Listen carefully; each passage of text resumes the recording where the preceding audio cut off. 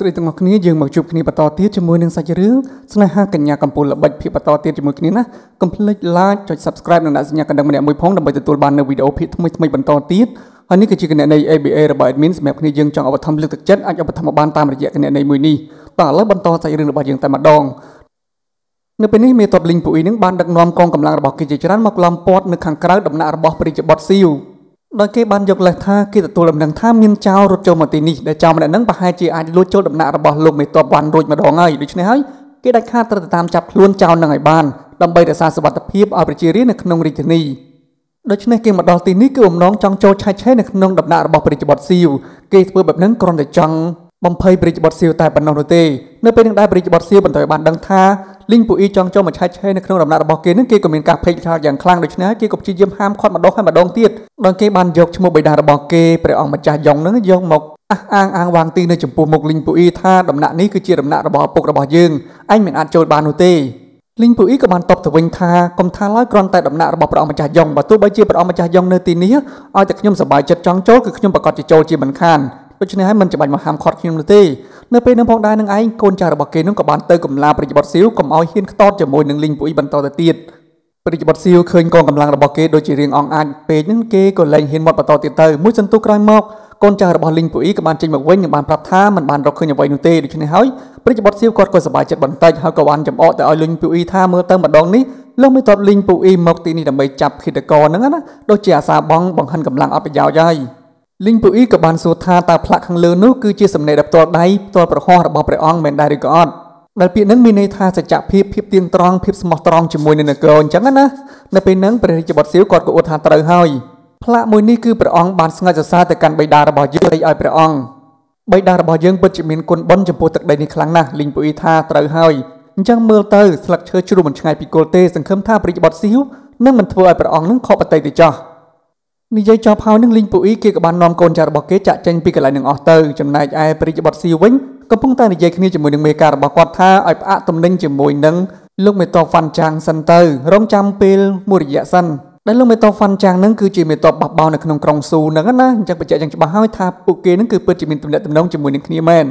បន្ទាប់ពីនឹងទៅព្រឹកស្អែកឡើងក៏បានមកដល់យើងក៏លេចមកមើលនៅក្នុងដំណាក់របស់គ្រួសារលោកមេតបឬក៏លោកសេនាប្រមុខវ៉ាន់ឯនេះវិញ ពួកគេកំពុងតែរៀបចំពិធីជប់លៀងអបអរថ្ងៃខួបកំណើតរបស់លោកស្រីវ៉ាន់ដែលជាម្ដាយរបស់លោកសេនាប្រមុខវ៉ាន់ហ្នឹងហើយក៏ជាថ្ងៃមួយដែលព្រះអង្គនឹងបានប្រទានងារកិត្តិយសមួយទៅដល់លោកយាយវ៉ាន់នឹងផងដែរដូច្នេះហើយលោកមេតវ៉ាន់គាត់ក៏សប្បាយចិត្តយ៉ាងខ្លាំងដោយសារតែម្ដាយរបស់គាត់មានកេរ្តិ៍ឈ្មោះដែលប្រទានដោយព្រះអង្គណាគឺពិតជាមានកិត្តិយសខ្លាំងណាស់រហូតដល់ស្ទើរតែភ្លេចថាកគូរបស់គាត់នឹងទើបតែត្រូវម៉ែរបស់គាត់នឹងវាយរួចទៅហើយ ចំណែកឯកូនស្រីចលឹមទាំងពីរវិញកំពុងតែសំណេះសំណាលគ្នាយ៉ាងសប្បាយរីករាយប្រហែលជាកំពុងតែនិយាយដើមគេហើយនៅពេលនឹងដែរអ្នកស្រីយិនអ៊ីក៏បានហាមទៅកាន់នានីវថា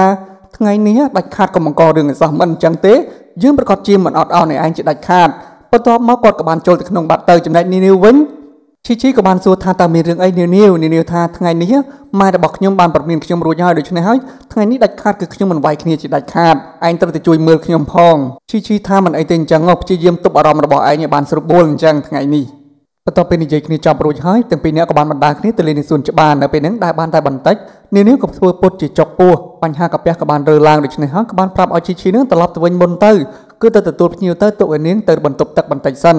ពីដំបូងនឹងឈីឈីថាអត់អីទេចាំខ្ញុំជូនទៅប៉ុន្តែនាងថាកុំបារម្ភអីខ្ញុំក៏ធ្លាប់មកនៅផ្ទះរបស់ឯងប្រហែលថ្ងៃដែរដូច្នេះខ្ញុំមិនមកវិញផ្លូវជាដាច់ខាតអញ្ចឹងហើយនាងក៏បន្តដំណើរទៅទៀតនៅពេលដែលឈីឈីបានដើរទៅបាត់តាមការពិតគឺនាងមានផែនការរួចជាស្រេចទៅហើយគឺដើរទៅរកស្ពានមួយដែលជាស្ពានចាស់ទ្រុឌទ្រោម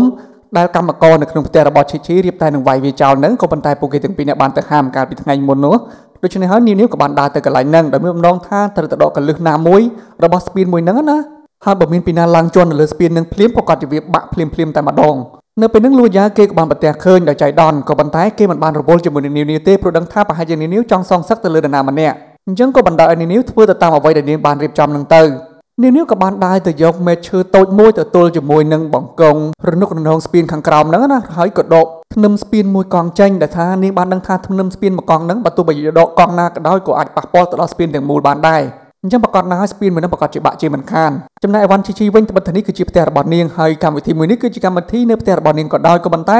វងលីងនៅតែមករករឿងវ៉ាន់ជីជីរហូតដែលបានស្ដីទៅឲ្យនាងថាមិនបានជានាងទុកភ្ញៀវចោលហើយដើរលេងតែម្នាក់ឯងបែបហ្នឹងនឹងឯងគឺជាទម្លាប់នៃការទទួលភ្ញៀវរបស់ដំណាក់គ្រួសារតកូលវ៉ាន់នោះនៅពេលហ្នឹងជីជីក៏បានដាក់វិញមកកប់មកកប់ថា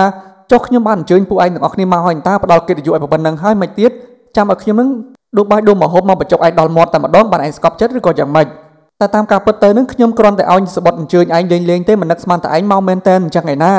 នៅពេលហ្នឹងវងលីងនឹងក៏បាននិយាយថាការពិតទៅខ្ញុំក៏មិនចង់មកដែរក៏ប៉ុន្តែដោយសារតែពួកយើងបានដឹងថាក្នុងកម្មវិធីឪពុករបស់ឯងបានរៀបចំការបង្វឹកទ័ពនេះជាពិសេសហើយនៅក្នុងកម្លាំងកងទ័ពរបស់ឪពុករបស់ឯងនឹងគឺមានប្រុសក្មេងៗជាច្រើនដូច្នេះហើយពួកយើងក៏ចង់មកមើលដែរឈីឈីថាស្អីគេពួកឯងមកពីនាយដល់ឯងមកដល់ផ្ទះរបស់ខ្ញុំនឹងគឺគ្រាន់តែចង់រកប្រុសឈ្មោលទេអញ្ចឹងឯណាប្រុសឈ្មោលដែលឯងចង់មើលនៅឯណា នៅក្រោមជើងយើងមិនដែរឬក៏អត់លេងសើចជាមួយគ្នាបានបន្តិចនៅពេលហ្នឹងនាវនាវក៏បានដើរទៅដល់ល្មមលូលីប្អូនជីដូនមួយរបស់លូយ៉ានឹងគេក៏បានឌឺដងទៅឲ្យនាវនាវថាមើលទៅនាវនាវប្រហែលជាខ្លាចបាក់មុខបានជាមិនហ៊ានជួបជាមួយនឹងពួកយើងដោយសារតែកាលពីថ្ងៃមុននាងបានកុហកថានាងស្គាល់លោកមេតបស៊ីសឹងណាច្បាស់លាស់ខ្លាំងណាស់ក៏ប៉ុន្តែនៅពេលនេះពួកយើងបាននឹងច្បាស់ហើយគ្រាន់តែជាពាក្យកុហករបស់នាងតែប៉ុណ្ណោះនៅពេលហ្នឹងនិយាយបានតែបន្តិចឃើញបងជីដូនមួយរបស់នាងមកលូលីនាងក៏បានទៅពួននៅខាងក្រោយវងលីងទៅ លួចយ៉ាដែលជាបងជីដូនមួយវិញដែលដឹងថានាងនេះកំពុងតែរៀបចំផែនការធ្វើបាបពួកស្រីស្រីដែលខូចខូចទាំងអស់ហ្នឹងហើយដូច្នេះហើយគេក៏ព្យាយាមហៅប្អូនជីដូនមួយរបស់គេទៅវិញណាក៏ប៉ុន្តែលូលីនឹងមិនព្រមទៅតាមបងប្រុសជីដូនមួយរបស់នាងនោះទេរហូតដល់វងលីងក៏បានចំអកទៅឲ្យលួចយ៉ាថាមើលទៅលោកល្ងីល្ងើអញ្ចឹងតើបានជាហឹកចៅជីងផ្ដាច់ពាក្យពីលោកអញ្ចឹងទាំងនាងគ្មានគិតអ្វីសូម្បីតែបន្តិចការពិតទៅលោកគឺជាមនុស្សល្ងងបែបហ្នឹងតតែសោះអញ្ចឹងតើបានជាចេះតែដើរតាមមនុស្សស្រីដែលគ្មានការអប់រំដូចជាឆឹងសៅសាងអញ្ចឹងនោះ លឿនចឹងហើយនឹងនាវនាវរបស់យើងឯវិញក៏និយាយថាតាមការពិតទៅអ្នកប្រុសលួយ៉ាវជាមួយនឹងអ្នកនាងហឹកចៅជីងនឹងផ្ដាច់ពាក្យពីគ្នាជារឿងតូចតាចនោះទេក៏ប៉ុន្តែមិននឹកស្មានថាអ្នកនាងវងលីងបានជាប្រមាថអ្នកនាងហឹកចៅជីងនឹងដល់ថ្នាក់នឹងតតែសោះប្រសិនបើអ្នកនាងហឹកលឺប្រកាសជានាងខឹងមិនស្ទើរនោះទេបងលីងថាខ្ញុំមានបានប៉ះពាល់ទៅដល់អ្នកនាងហឹកចៅជីងឯណាគឺខ្ញុំថាឲ្យតែលួយ៉ាវតើនាងកុំចេះតែចោទប្រកាន់ខ្ញុំប្រេះផ្ដាស់នៅពេលហ្នឹងប្រនាងយូចាង បានខាត់ទៅកាន់ពួកគេទាំងអស់គ្នាថាថ្ងៃនេះគឺជាថ្ងៃខួបកំណើតរបស់លោកយាយវ៉ាន់ដូច្នេះហើយសង្ឃឹមថាអ្នកនាងឆឹងសាសាំងមិនប្រកាន់ជាមួយនឹងវងលីងទេព្រោះនាងគឺជាមនុស្សដែលតែងតែនិយាយត្រង់បែបហ្នឹងនាវនាវថាមានតែប្រនាងយូចាងទេដែលគិតបានម៉ត់ចត់និងដិតដល់មិនដូចជាអ្នកខ្លះទៀតចេះតែនិយាយប្រេះផ្ដាស់ប្រេះផ្ដាស់ដូចជាគ្មានបានរៀនសូត្រពីប្រនាងយូចាងបន្តិចតតែសោះមើលទៅគួរតែខំរៀនតាមដែលប្រនាងយូចាងបន្តិចទៅកុំឲ្យប៉ិនពូកែតែខាងដើមមករករឿងមនុស្សដែលមិនចេះអសរគ្មានការព្រៀនប្រដៅដូចជាខ្ញុំអីលឺអញ្ចឹងវងលីងថាបានឲ្យបិទមាត់ទៅ នាងនាវថាប្រនាងយូចាងមើលណោវងលីងប្រាប់ឲ្យប្រនាងនឹងបិទមាត់វងលីងថាអត់ទេខ្ញុំមិនបាននិយាយឲ្យប្រនាងយូចាងឯណាគឺខ្ញុំនិយាយឲ្យសៅសាងតើនាងនាវថានាងបាននិយាយវងលីងថាខ្ញុំអត់និយាយទេនាងថាបានហើយខ្ញុំឮថានាងបាននិយាយបើនាងនៅតែតមាត់ខ្ញុំទៀតប្រយ័ត្នខ្ញុំចាប់ហែកមាត់ដល់គុំតាជាអញ្ចឹងវងលីងដោយសារតែមានបទពិសោធន៍កាលពីមុនគឺនាវនាវបានដាក់នាងម្ចាស់ដៃដែរក៏រៀងស្ងាត់បន្តិចទៅសង្គ្រាមខាងស្រីស្រីបានបញ្ចប់ឥឡូវត្រឡប់មកមើលខាងសង្គ្រាមប្រុសប្រុសវិញម្ដងនៅពេលនេះអ្នកប្រុសយានសានជៀនដែលចេះតែកំណាប់ចេះតែអីអត់ប្រយោជន៍ហ្នឹងណាមក អួតក្តែងក្តែងក្អេងក្អាងនៅចំពោះមុខនិស្សិតទាំងអស់គ្នាលេងសបាយគប់ព្រួញចូលក្នុងកឡោតូចមួយហ្នឹងនៅពេលនឹងដែរនឹងឯងលីងពូអ៊ីគេក៏បានមកដល់ហើយគេនឹងក៏ចង់អួតអំពីទេពកោសលរបស់គេគប់ព្រួញចូលក្នុងកឡោហ្នឹងណាអញ្ចឹងគេក៏បានឌឺដងចំអកទៅឲ្យលីងពូអ៊ីថាមើលទៅលោកមេតបលីងពូអ៊ីទើបតែត្រឡប់មកពីសមរភូមិបានដោយជោគជ័យតើលោក ស្ម័គ្រចិត្តកំសាន្តសប្បាយជាមួយនឹងពួកយើងដែរឬក៏អត់ទេមើលទៅជួយបង្ហាញជំនាញរបស់លោកប្រាប់មកកាន់ពួកយើងផងនៅពេលនេះលីងពួកអ៊ីថាចំពោះខ្ញុំព្រួញគឺសម្រាប់ទុកសម្រាប់មនុស្សប៉ុន្តែបើយកមកលេងសើចបែបហ្នឹងគ្រាន់តែជាលបែងក្មេងលេងកំពេចកំប៉ុកតែប៉ុណ្ណោះអញ្ចឹងគេគប់មិនទាំងយកភ្នែកមើលផងក៏ប៉ុន្តែយានសានជាងនឹងគាត់មុខក្រាស់ក្រនបើដែរគាត់នៅតែញញឹមនិងមានមោទនភាពចំពោះខ្លួនឯងថាបើអញ្ចឹងទេថ្ងៃនេះគ្រាន់តែជាការកំសាន្តសប្បាយតែប៉ុណ្ណោះទេដូច្នេះហើយលោកមេតបលីងមិនចាំបាច់បង្ខូចអារម្មណ៍របស់ពួកយើងនោះទេនៅពេលនេះលីងពូអ៊ីថា បើថ្ងៃនេះពិតជាថ្ងៃកំសាន្តសប្បាយមែនតែអ្នកប្រុសយានមានចិត្តចង់ទៅកយគុណផ្កាជាមួយខ្ញុំដែរឬក៏អត់អញ្ចឹងលីងពូអ៊ីបាននាំគេទាំងអស់គ្នាមកឈរមើលនៅម្ខាងទៀតកន្លែងមាត់ទឹកឯណាយានសានជិនថាមើលទៅអ្នកប្រុសលីងចង់មកកយគុណផ្កាក៏ប៉ុន្តែទីនេះគ្មានផ្កាឲ្យអ្នកប្រុសកយគុណនោះទេតែតាមការពិតទៅនឹងលីងពូអ៊ីដាក់ម៉ូជាមួយនឹងនាងនាវរួចហើយគឺចង់ជួយនាងនាវឲ្យសម្រេចនៅផែនការរបស់នាងធ្វើឲ្យបពពួករបស់ព្រះនាងយូចាងទាំងអស់នោះធ្លាក់ចូលទៅក្នុងទឹកដោយឡើងជន់ទៅលើស្ពានដែលនាងបានរៀបចំទុករួចជាស្រេចហ្នឹង អញ្ចឹងហើយនាងនាវក៏បានដើរមកឈរមើលនិងបានធ្វើជានិយាយថាណោះមើលទៅខាងនោះដូចជាអ្នកប្រុសស៊ីសឹងជាមួយនឹងអ្នកប្រុសជៀនសានជៀនតើពួកគេដូចជាកំពុងតែឈរសម្លឹងមកខាងនឹងផងនៅពេលនឹងស្រីស្រីលឿនចឹងហើយក៏ជំនុំគ្នាជ្រើមជ្រួលណាបជ្រៀតផងជន់គ្នាផងជីកផងអឺតមើលមេតបលីងពូអ៊ីជាមួយនឹងអ្នកប្រុសជៀនសានជៀននឹងទៅចំណែកប៉នាងយូចាងឯនេះវិញនឹងកំពុងតែអឺតកមើលជាមួយនឹងគេដែរគឺមើលទៅអ្នកប្រុសលីងពូអ៊ី ដោយឃើញថាផែនការរបស់ខ្លួននឹងកំពុងតែរលូនទៅមុខទៅហើយនោះដូច្នេះហើយនាងនេះក៏បានអោនឲ្យពួកគេនឹងមើលតាមតែចិត្តទៅចោះចំណែកលីងពូអ៊ីនេះវិញសុកសុកស្រាប់តែសួរទៅកាន់យានសានជៀនថាតើអ្នកប្រុសធ្លាប់ញញឹមដែរឬក៏អត់យានសានជៀនក៏បានសួរមកវិញថាសំណួរមួយនេះគួរតែខ្ញុំទេសួរទៅកាន់លោកមេតបលីងនោះតើលោកធ្លាប់ញញឹមដែរឬក៏អត់តែលីងពូអ៊ីអាចបានខ្វល់ជាមួយនឹងសំណួររបស់យានសានជៀនទេគាត់ថាឥឡូវនេះញញឹមតាមខ្ញុំតែម្ដងទៅអញ្ចឹងញញឹមជាមួយគ្នាគឺញញឹមទៅទិសខាងណោទៅទិសដៅកំពុងតែមានផ្កាកំពុងតែរីកឲ្យយើងកយគុណខាងណោ ហើយគាត់ក៏ធ្វើជាសោចឡើងស្ងួតធេងតែម្ដងទៅស្រីស្រីគ្រាន់តែឃើញចឹងភ្លាមថាណោលោកមិនតបលីងពូអ៊ីឬក៏ស៊ីសឹងហ្នឹងកំពុងតែញញឹមមកដាក់ពួកយើងហើយពនាងយូចាងនោះថាមែនទេអត់ដូចជាមិនមែនទេដឹងលីងពូអ៊ីកំពុងតែសោចហាហាហានៅនឹងចំណៃអាយៀនសានជៀនវិញឃើញចម្លែកពេកដោយសារតែលីងពូអ៊ីនឹងមិនដែលសោចប្រៀបដាស់បែបហ្នឹងទេហើយមើលទៅសោចដូចជាមិនសមទល់តែសោះគេក៏ធ្វើជាសោចហះហះដែរគេទៅចំណែកឯលីងពូអ៊ីនៅវិញហ្នឹងកាន់តែបែកស្លុយកាន់តែស្ងួតជ្រើងទៀតហើយថាណោពួកយើងនាំគ្នាកយគុណផ្កាទាំងអស់គ្នាទៅ ផ្កាទាំងអស់កំពុងតែរីកនៅខាងណោគឺសុទ្ធតែផ្កាវល្លិផមទាំងអស់នៅក្នុងដំណាក់ខាងណោចំណែកឯផ្កាវល្លិផមឯនេះវិញកំពុងតែនាំគ្នាឆ្លេឆ្លាអសប្បាយរំភើបរៀងរៀងខ្លួនថាណោពួកគេនឹងកំពុងតែសម្លឹងមើលពួកយើងនៅខាងណោដើម្បីមើលឲ្យកាន់តែច្បាស់ថែមទៀតពួកយើងគួរតែនាំគ្នាទៅឡើងលើស្ពាននោះទៅដើម្បីបង្ហាញខ្លួនឲ្យពួកគេមើលពួកយើងនឹងកាន់តែច្បាស់ថែមទៀតអញ្ចឹងព្រះនាងយូចាងលឺអញ្ចឹងហើយក៏បាននាំបរិវាររបស់ខ្លួនទាំងអស់គ្នាណា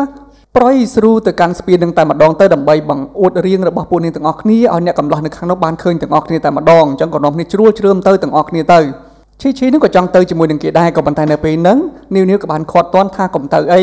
ខ្ញុំកំពុងតែឈឺកាពះផងដូច្នេះឯងគួរតែនៅទីនេះដើម្បីកំដរខ្ញុំទៅចំណែកឯលួយ៉ាវិញក៏ចង់ទៅជាមួយនឹងគេដែរក៏ប៉ុន្តែនៅពេលហ្នឹងនាវនាវក៏បានខាត់ដូចគ្នាថាលោកគឺជាប្រុសចំណែកឯពួកនាងនាងនោះគឺជាសុទ្ធតែជាស្រីទាំងអស់ដូច្នេះហើយគួរតែនៅទីហ្នឹងទៅកុំបាច់ទៅពាក់ព័ន្ធឈឺឆ្អាលជាមួយនឹងពួកគេអីវាដូចជាមិនសមរម្យនោះទេ ចំណែកក្រុមប្រនាងយូចាងឯនោះវិញឲ្យតែឃើញប្រុសស្អាតប៉ុណ្ណឹងហើយរត់លែងខ្វល់បើទោះបីជានៅខាងចុងស្ពានម្ខាងម្ខាងហ្នឹងគេបានដាក់បដាដើម្បីប្រាប់ថាកន្លែងហ្នឹងគ្រោះថ្នាក់ហាមចូលជាដាច់ខាតក៏ប៉ុន្តែពួកនាងទាំងអស់គ្នាមានតែបានមើលបដានឹងឯណាគឺមើលតែប្រុសស្អាតនៅខាងនោះនឹងឯងបើទោះបីជាមានអ្នកបម្រើប្រមាណអ្នកព្យាយាមខាត់ក៏ដោយក៏ពួកគេទាំងអស់គ្នានៅតែវាសអ្នកបម្រើចាញ់ហើយក៏បាននាំគ្នារត់ទៅឡើងលើស្ពាននឹងបានសម្រេចចំណែកលីងពូអ៊ីជាមួយនឹងនីវនីវកំពុងតែសញ្ញោភ្នែកដាក់គ្នាថាការងាររបស់ពួកគេសហការគ្នានឹងគឺបានសម្រេចហើយអញ្ចឹងគឺលែងមានពីណាជំពាក់ពីណាទៀតហើយ លីងពូអ៊ីនៅតែទទួលប្រាប់ឲ្យនិស្សិតទាំងអស់គ្នាណោនាំគ្នាមើលកយគុណផ្កាផ្កាកំពុងតែរត់មកឡើងស្ពានហើយតិចទៀតផ្កាធ្លាក់ពីលើស្ពានទាំងអស់ឥឡូវហើយនៅពេលដែលស្រីស្រីទាំងអស់គ្នាដែលជាបរិវាររបស់ព្រះនាងយូចាងនឹងនាំគ្នារត់ឡើងលើស្ពានតាមក្រោយព្រះនាងយូចាងនឹងជាហោហាយបន្តបន្ទាប់រហូតដល់សម្រាប់ជើងរបស់ស្រីស្រីដែលជាបុប្ផាទាំងអស់នឹងផ្អើលទៅដល់ចាស់ទុំនៅក្នុងរោងជំនុំឯណា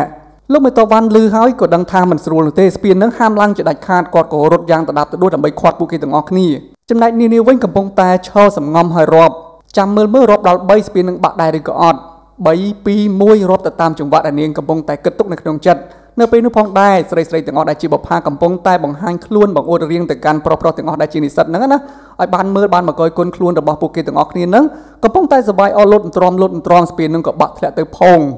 ម្នាក់ម្នាក់ចំហមាត់ប៉ិនប៉ិនប៉ោតភ្លេចលែងមានការខ្មាស់អ៊ីនលែងមានការសំសួននៅក្នុងខ្លួនអស់ទៅហើយអញ្ចឹងស្រីស្រីប្រហែលជា7000នាក់ក៏បានធ្លាក់ចូលទៅក្នុងទឹកស្រះមួយកវិចនឹងទាំងអស់គ្នា ប្រុសប្រុសគ្រាន់តែឃើញភ្លាមហ្នឹងក៏នាំគ្នាស្រែកអហេអហូមិនដឹងជួយយ៉ាងម៉េចនោះទេបានត្រឹមតែរត់ទៅតាមក្រោយតែប៉ុណ្ណោះចំណែកប៉នាងយូចាងវិញដោយសារតែខ្លួនឯងអាម៉ាស់មុខខ្លាំងពេកតាំងពីទៅមកដល់ធំមិនដែលអាម៉ាស់មុខធ្លាក់កប់ផុកបែបហ្នឹងណាក្រោកឡើងវិញក៏បានសវេសវាស្រែករកគេជួយចំណែកឯយានសានជានៅវិញហ្នឹងក៏ភ័យស្លន់ស្លោនឹងគេដែរ ហើយក៏ក្រឡេកមករកលោកមេតបលីងពូអ៊ីថាលោកមេតបបែបហ្នឹងដូចជាកលេចមកបាត់មេតបលីងពូអ៊ីបាត់ទៅហើយស្រីស្រីទាំងអស់ដែលកំពុងតែហាត់ទឹកយ៉ាងសប្បាយរីករាយនោះកំពុងតែឆ្លេឆ្លាក្រុមនិស្សិតប្រុសៗហ្នឹងក៏បានរាប់នាំគ្នាទៅជួយស្រង់ចេញពីទឹកមកវិញហើយនៅពេលហ្នឹងពួកគេក៏នាំគ្នាច្រៀងរាំយ៉ាងសប្បាយរីករាយនៅក្នុងទឹកហ្នឹងទៅគណៈពេលដែលឈីឈីនៅវិញហ្នឹងក៏បានប្រាប់ទៅកាន់នាងនាវថាអត់ទេនាងនាវនៅកន្លែងហ្នឹងសិនហើយខ្ញុំរត់ទៅជួយមើលគេបន្តិចក្រែងរោមានខ្វះអ្នកសោចខ្ញុំទៅជួយសោចបន្ថែមទៀត ពនាងយូចាងជាមួយនឹងនាងវងលីងនេះវិញហ្នឹងកំពុងតែអង្គុយបាក់មុខយ៉ាងខ្លាំងដោយសារតែខ្លួនគឺជាមេដឹកនាំក្រុមស្រីស្រីទាំងអស់គ្នាហ្នឹងណាបកាជាងគេអារឿងមើលងាយធ្វើបាបគេដទៃទៀតប៉ុន្តែមិនដែលមានពីណាគេហ៊ានធ្វើបាបពួកនាងបែបហ្នឹងនោះទេដូច្នេះហើយក៏យំស្រែកជំទាវយ៉ាងលឺលឺតែម្ដងឈីឈីឃើញបែបហ្នឹងហើយនោះក៏សោចសប្បាយរីករាយប៉ុន្តែមិនដឹងថាសោចទៅលើនរណាមុនគេនោះទេកំពុងតែស្ដាយថាបើសោចមួយគឺស្ដាយមួយចំណែកនានានេះវិញមកទៅផែនការរបស់ខ្លួនរៀបចំធ្វើបាបពួកគេទាំងអស់គ្នានឹងបានសម្រេចហើយ ហើយមិនតែប៉ុណ្ណោះទេគឺគ្មានពីណាគេដឹងថានឹងគឺជាផែនការរបស់នាងថែមទៀតផងដូច្នេះនាងក៏សប្បាយចិត្តយ៉ាងខ្លាំងកាន់របស់នៅរំដៃនឹងដូចជាបានពៀនទទួលបានពៀនក្នុងការដាក់អន្ទាក់ពួកគេទាំងអស់គ្នាឲ្យធ្លាក់ទឹកអញ្ចឹងឯងអ្នកបំរើទាំង4នាក់កំពុងតែឈរឆ្ងល់ថាតើអ្នកនាងឆឹងសៅសាងហ្នឹងមិនបានជាទៅជាបែបហ្នឹងទៅវិញឬមួយក៏នាងហ្នឹងក៏លក់ខួរទៅហើយហើយសាររឿងរបស់យើងនៅក្នុងភាគហ្នឹងក៏បានស្រេះត្រង់ចំណុចដែលនាវនាវកំពុងតែសប្បាយអយ៉ាងខ្លាំងដើររំតែម្នាក់ឯងលក់កញ្ឆេងហ្នឹងទៅ រងចាំទស្សនាបន្តទៀតជាមួយគ្នានៅវីដេអូភាគបន្តបន្តទៀតកុំភ្លេចចុច Subscribe ម្នាក់មួយផងដើម្បីទទួលបាននៅវីដេអូភាគថ្មីៗបន្តទៀតអរគុណច្រើនជម្រាបលា